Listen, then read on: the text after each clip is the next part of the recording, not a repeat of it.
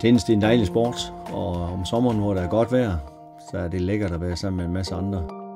Jeg er en meget aktiv person, så derfor tror jeg på, at øh, det er med til at, at holde sig ung. Jeg hedder Henrik Jensen, og øh, jeg er 65 år. Jeg bor i Storholm. Jeg er gift med Mona på 40 år. Jeg arbejder ved øh, Viborg Bryghus, og det har jeg gjort i øh, syv år. Grunden til, at jeg fik lavet var jo, at jeg har haft colitis ulcerosa siden 1971. Man har så forsøgt at holde det væk med medicin, men øh, i øh, 2008 der blev jeg så opereret. Grunden til, at jeg begyndte at bruge øh, ringen, det var, at huden omkring stomien var blevet irriteret.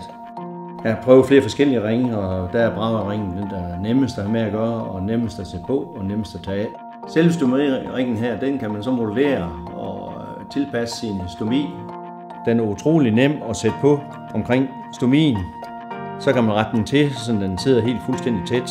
Og så er den utrolig nem at tage igen. Når jeg dyrker sport, der er der ingen problemer. Når jeg spiller tennis, jeg spekulerer aldrig over, at jeg har stomi. Og det gælder samme med, badminton og, og, og de andre fritidsaktiviteter. Når jeg bare arbejder, så er der ingen problemer med at, at gøre de forskellige ting, som man plejer. Det er ganske naturligt. Så kan jeg leve et helt ganske almindeligt liv, som alle andre.